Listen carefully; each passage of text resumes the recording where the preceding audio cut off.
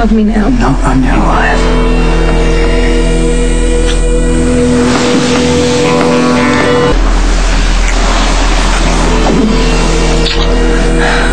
Do you tackle every maid that comes into your room?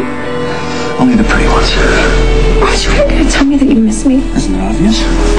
Aren't you wondering why I'm here? That's a little obvious too. My only question is what took you so long? What did you say? I've been waiting for weeks for you to come after me.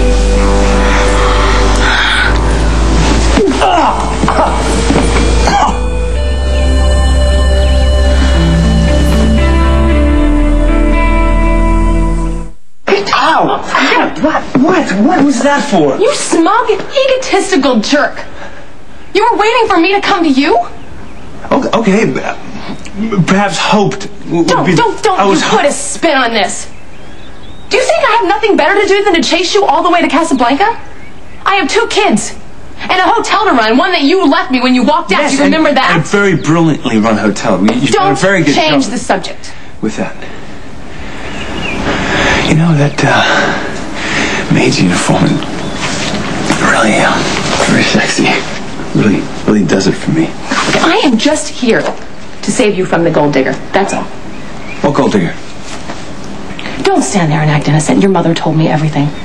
How this bimbo has been leading you all over North Africa, from casino to casino, party after party, night after night. She probably has you thinking that she's some billionaire or a countess or some some princess from a country that doesn't even exist. When she's some piece of trash who's only trying to rob you blind. My mother told you all this? Yes, she told me this, and I thought you were smarter than to fall for such a stupid scam like this. But I guess the pain of leaving everything behind has left you with the ability to not use your brain anymore. So I have come here out of the goodness of my heart and sacrificing everything to save you, okay? Did you have a um, specific approach in mind? Yes. Remind you of what you could have if you throw out the trash and come back to me. Oh, so um, you're jealous? Think that I am jealous of some jet setter that has nothing better to do than to chase you around the world? You tell me. I'm only here to help your mother. I see. Lady Jane is worried about you. Please, Carly, Jax needs you desperately. Yeah, yeah, she can be relentless. I would like nothing better than to watch this woman rob you blind. It's what you deserve after walking out on me. But out of respect for Lady Jane, I chose to set aside my justified anger and disappointment to spare you some pain. What, you were disappointed when I left? You're missing the point. No, no, I get it. I mean, you know, you're here to rescue me from, you know, from all this. I mean, it's been awful. It really has. Lawn parties that last for days and yacht parties last for weeks. You know, and then you're drinking a lot of champagne, and you know what champagne leads to. and then I get the you're like dancing. picture. Yeah. I mean, thank God that you're here to rescue me. On one condition. Okay. All right, I'm listening. You tell this gold digger to get lost, that you're otherwise engaged. And that's all I have to do. I'll be waiting in the bar downstairs.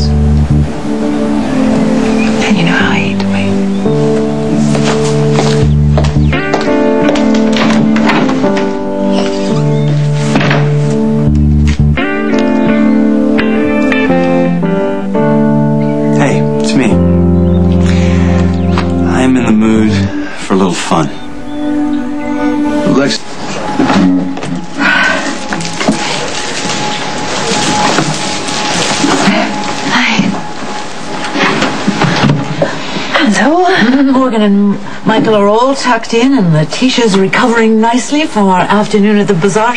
She bought 17 passes at last count. Wow. It was really a splendid afternoon all the way around. Michael bought a camel. Well, not a real one. And Morgan fell asleep wearing the most adorable fez. Don't you want to know what happened with Jax? Oh, of course I do. I mean, after all, this whole rescue mission was your idea.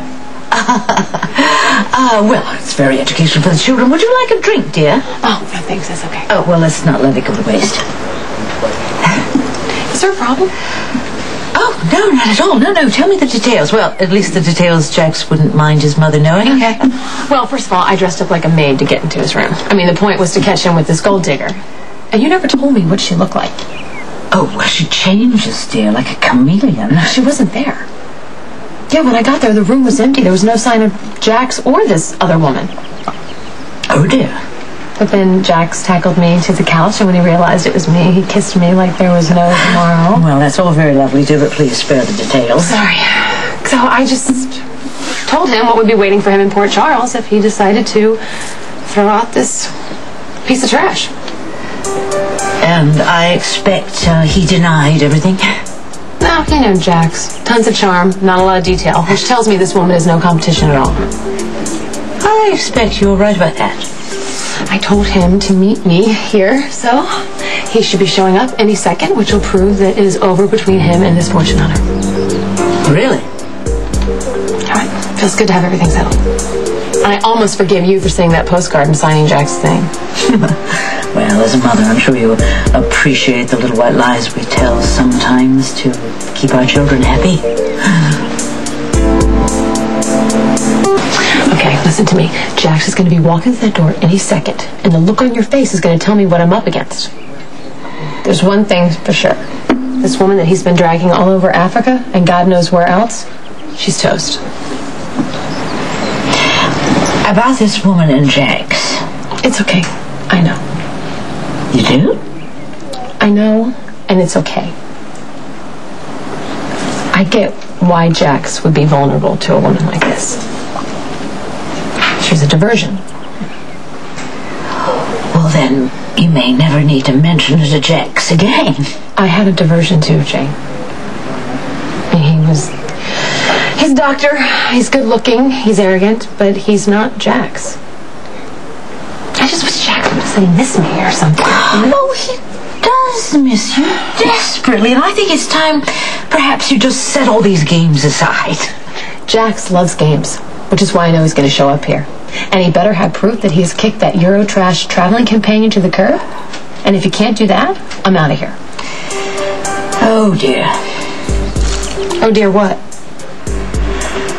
I'm afraid I haven't been entirely honest with you.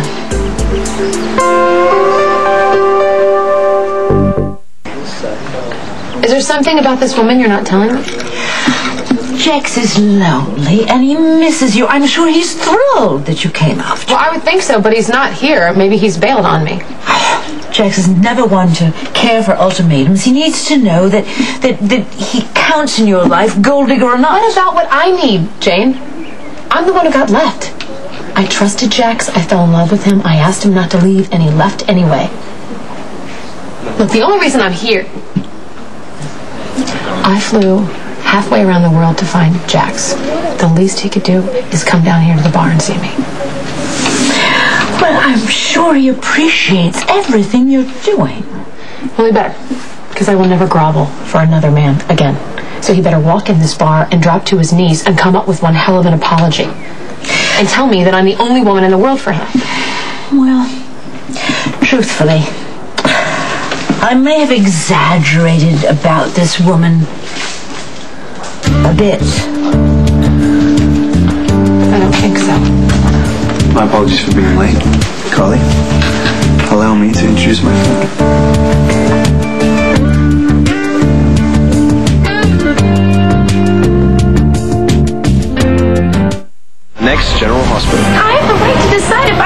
Continue with this pregnancy. I'm not about to lose my mother, Sonny.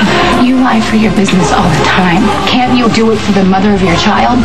Alexa started coughing and was bad, so I'm taking her to the hospital.